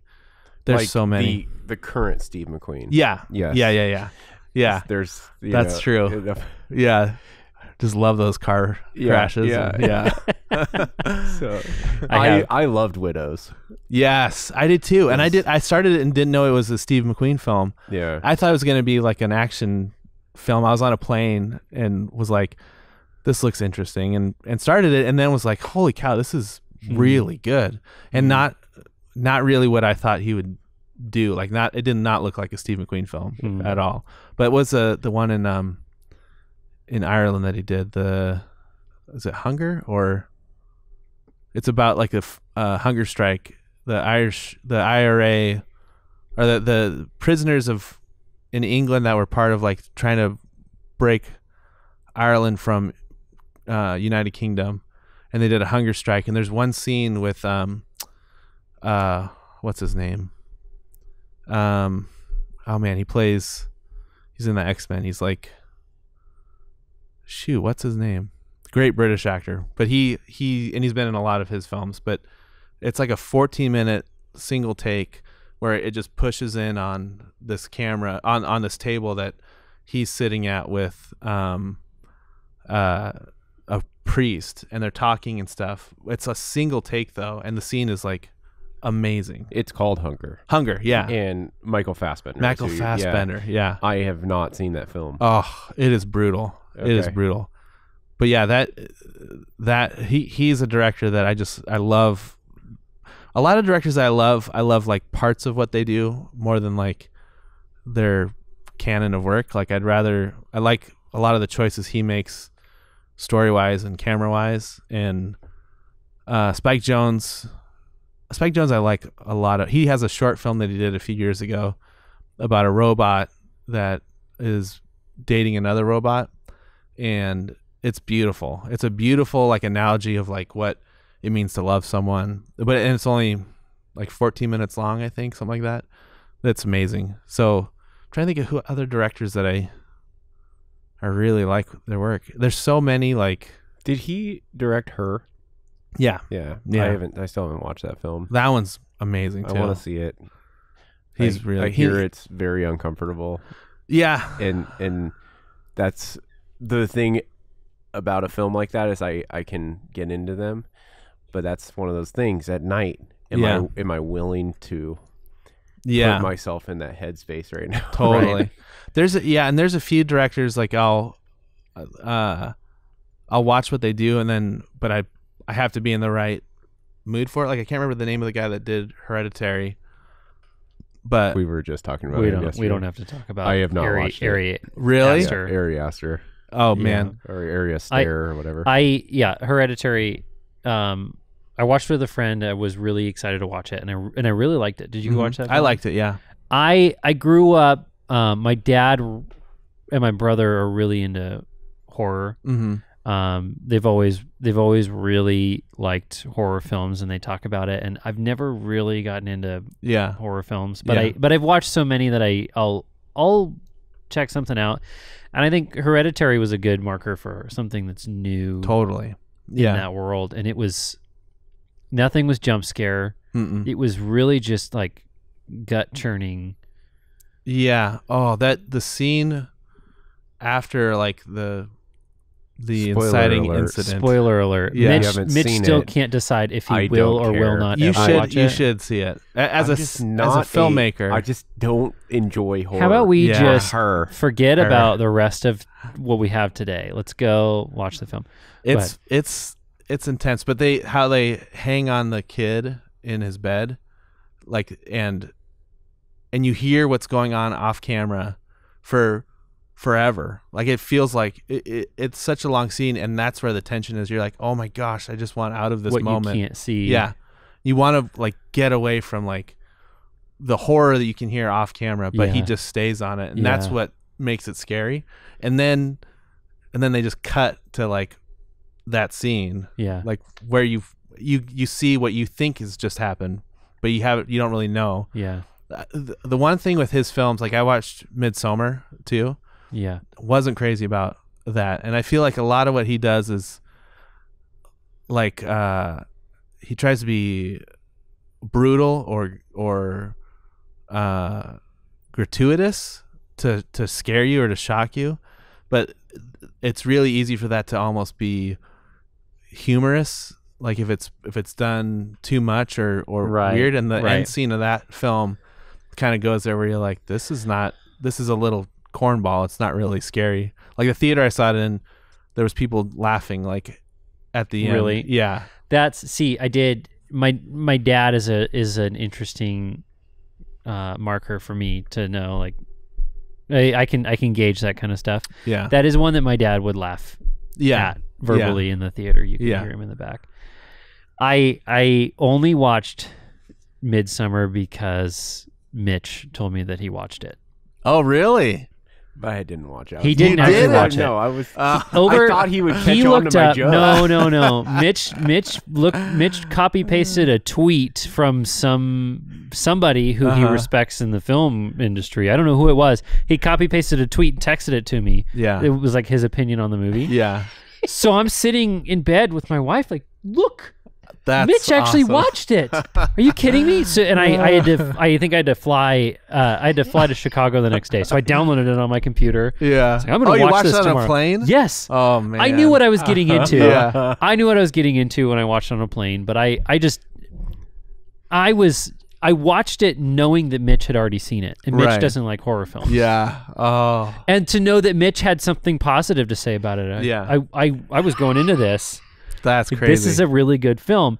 And then as it's progressing, all I'm thinking in the back of my mind is, I can tell you exactly how this is going to go. yeah. Every step of the way, Yeah. I know what's next. Yeah. Mitch and I talked about this uh, yesterday. He asked me about that film, and it just suddenly I, sh- I shot into a, a an aggressive irritation about this film, and I talked Mhm. about the whole thing, and I was mad Yeah. that it was that it is what it is. Yeah. and and in the end of it, Mitch said, "Well, don't you think that maybe that's that's, the That's the art point. piece? That's the point. Yeah. You I- like, will you keep watching? You know Totally. where this is gonna go. I think that's I guarantee that's what he's he's doing in that cuz like there's like when you know they're they're showing slow motion footage of an old man's head being smashed with a bat like over and over and over again. It's almost challenging you like turn this off. Like are you going to turn it off or are you going Turn to do it off. Yeah. I in y- you kept pointing out. I haven't. I still haven't watched the film, but you basically told me start to finish how it went, Yeah. and you kept telling me that he would give you a major clue Mhm. ahead of time of like where things are going to go and and you would always look at the people on screen being like how do you not know this is going to happen Yeah. and but he he knows that you know it's going to happen Mhm. he the the He's writer, given you director, enough of the and so pieces. you are you are making the decision for Yeah. it to happen technically Yeah. that's what um it's it's it's uh taking it one step further further than hitchcock Yeah. um you know hitchcock with the Yeah. the carry the Yeah. you didn't. and- you didn't and actually you, see. you killed her Right. you stabbed her yeah. Yeah. um and because all you saw was a a uh, a shadow Yeah. or a silhouette Yeah. um, you didn't you never actually saw Yeah. anyways and so it's you the audience killed and so technically you as the audience You're staying member of the audience You you, took the bat to that Yeah. head you So- you pushed the the 70 year old 72 year old man off the cliff Yeah. by because all you had to do was close that computer on the airplane Right. and it never would have happened Yeah, yeah, that is true. There, and there was like when they went up on that cliff, I was thinking the same thing. Like, how do they not know what's going to happen? Like they've they've led these people up to the spot, and they're all down below. Like, obviously, this is going to happen. Yeah. you know. And then and then as it progresses and everything goes on, I the whole like you. There's no no part of it where you're like. Like oh, I wonder if they're gonna get out of here. Like I never thought that. No. yeah or See, even like this how is- they how the parents died at the beginning Yeah. like t- that that to me is ridiculous like you don't need to show all of that horror beforehand or the Yeah. the sister dying Yeah. like you don't need any of that to set up that she's hurting or Mm. you know like like he he does that with those films like like basically it's almost the opposite of Hitchcock in a way too where Hitchcock the horror is off camera Yeah. so that it's scarier in your head and he will literally show you the girl with vomit around her mouth who's dead with exhaust taped to her face almost like like showing and then linger on it forever and Yeah, almost like, challenge you, you- to challenging you to keep looking. yeah yeah or turn your head away. I yeah I that's why so I don't want to watch these films. Mhm. But You will. You you still may watch Hereditary because Yeah. that's we still I, haven't Hereditary is a different like uh, like yeah, it's a different beast. I I really liked Hereditary and I thought he what he did there was it was a little more reserved I think than than Midsommar and Definitely. and some of the things he did with like scares in camera were like like there's a scene where it's a dark room and all of a sudden your eyes adjust as you're watching it and you realize like someone's in this room that's been there the whole time but you just haven't You been able to see this, yeah. Oh, and it's the best. It is the best. Like th- things were done in that movie where where like the main the big scene, I literally was like, "Oh my gosh. Oh my gosh." And that never happens yeah. in a in a horror film especially. Oh yeah, it's in in and I even I talked to Mitch about both of those films. Even um, even in Midsommar, his editing or the, his choices of editing Yeah. are are very um intriguing. Mhm. The way that he makes, especially in Hereditary, the way that he builds up and builds up, and then even there's like loud sounds, and then it Yeah. cuts to something quiet. It's jarring Yeah. even if no, like nothing scary happened, but it's still jarring the way that they It's visceral. made that cut. It's Yeah. visceral, and Yeah. and I think that's a quality for Mitch and I want to make um, original uh, narrative content. We've Mhm. we we will mostly dramas, nothing that's horror, nothing that's really comedy, but like um I think when we talk about the the stories that we'd like to tell when we're writing scripts, when we're when we're writing down ideas for these films we'd like to make, um, those are the things that really inspire us. Those Yeah. those um, like Sam Esmail Mhm. in Mr. Robot or in um, Yeah. Homecoming. He does he's that's not horror, but he still does this like a song will play very aggressively and then all of a Mhm. sudden it cuts to silence and you're in the next moment. Yeah. And I think those those things in Ari Aster's work are just Yeah. um, those are the things that I'm taking away Mhm. As my inspiration Yeah. for what I like to do. Yeah. We're sitting down working on on um, commercial client work, and those are our inspirations. Totally. Well, that's why I told Cameron. Cameron, it, what when we met, he wasn't really a a cinephile. I would say. Yeah. Like he he knew a lot of uh, like ski Outdoor, films. yeah. Yeah. And I I still tell him like you need to watch uh, documentaries and films that have nothing to do with with this because that's going to inform your storytelling way more than Yeah. copying the the shot styles of Yeah. you know Warren Miller or something like that. Like you need to have those external influences. I barely watch adventure films or action. I, I don't really like them like for Mm. the most part. If there's a story there, I'll I'll engage with it, but otherwise I'm not going to sit down and watch a new snowboard video or Agreed. yeah, it just doesn't appeal to me. Mm. But I'll watch all day like a good movie or a good documentary or a good show and then pull ideas out of it that I can use in my own stuff. Like a lot of the shots actually in um in Rusty's Ascent came out of like uh what's the documentary? Um Oh shoot. Uh the country uh, the the the the it was a Netflix Wild Wild series. Country? Wild Wild Country. Yeah Mm-hmm. the way they shoot their interviews like Yeah. change the way I do Yep. my interviews. Yep. Yep. It was it was amazing. You you uh, told Cameron to watch that, and then on the podcast, Cameron told us to watch that, and then Oh, really? now that's the that's our I think that's our basis for um like we just finished a project for um the Arc of Spokane, Mm-hmm. and we sat down with this this um, mom and dad of a of a developmentally disabled individual, and we walked into their living room. They're in this little beautiful little house on the South Hill, hmm and Mitch is talking to mom and dad, and I'm looking around like, all right, wild wild country. Yeah. We don't have we, We anamorphics, mentioned but- Wild Wild Country to each other. so- Yeah. yeah, yeah. Where are we gonna sit them? Exactly. Dead center with this like Yep. abstract kind of framing in the background. Yeah. side lit, really soft. Yeah. Where Yeah. that's that's been kind of the the the the huge inspiration for most of our um, interviews hmm lately. Yeah.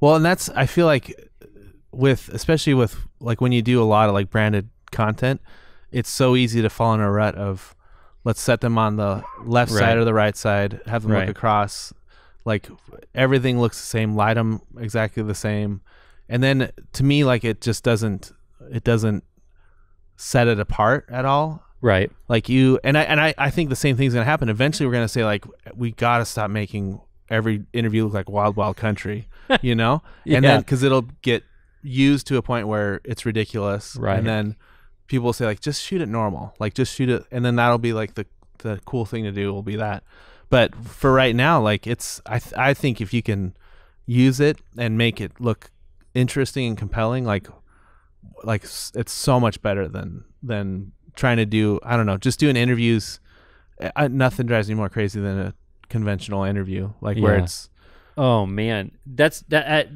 back to um, abstract, the art Mhm. of design. That episode.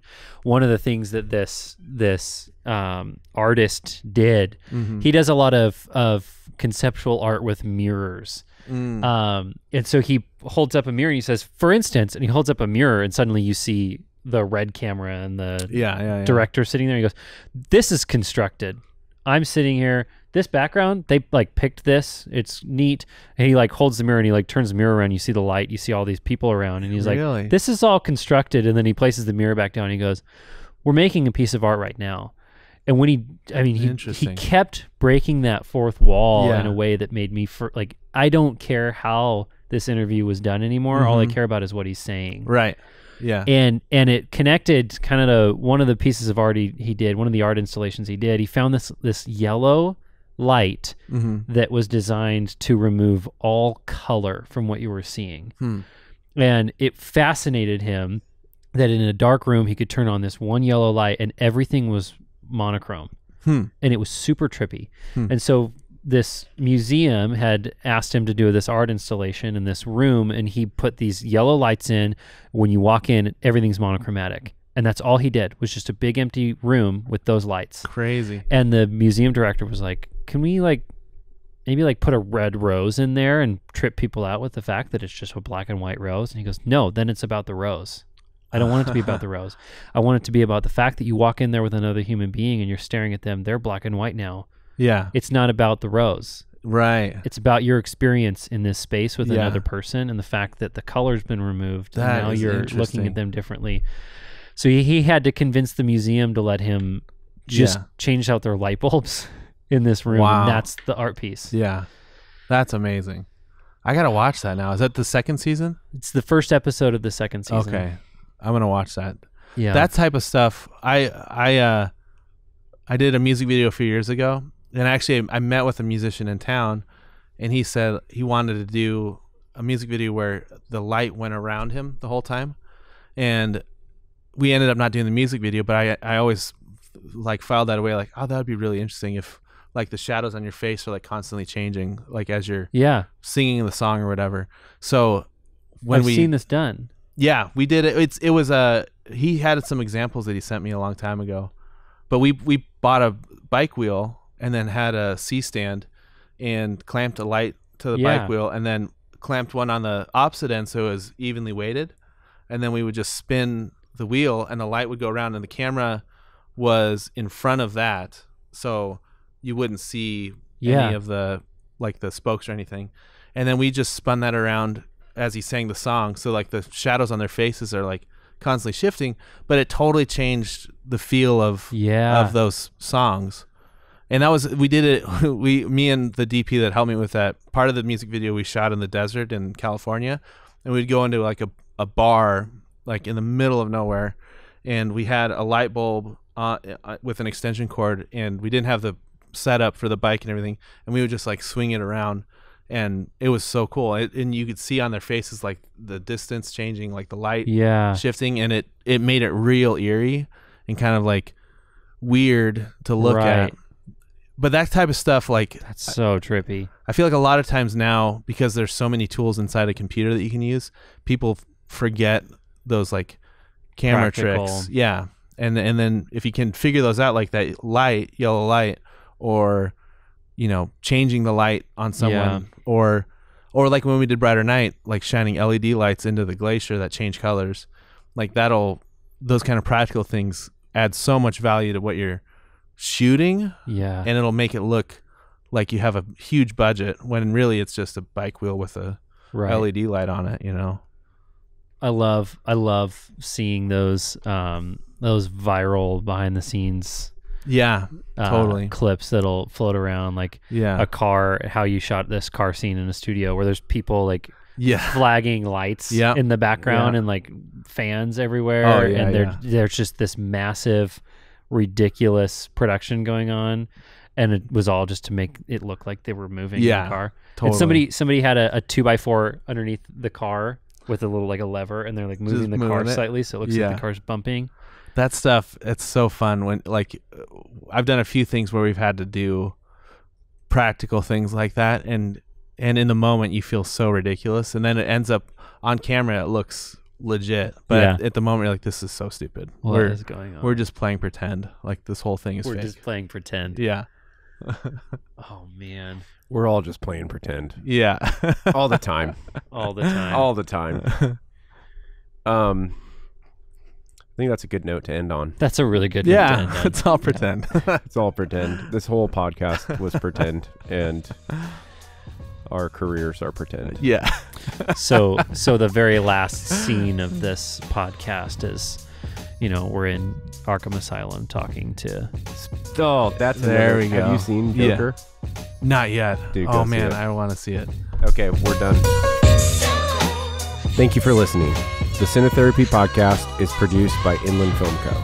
Special thanks to Jordan Halland for joining us for a conversation on this podcast. We hope you watch his films and get to know his work. If you are interested in connecting with Jordan, we listed his social media accounts in the description of this page. That's a wrap.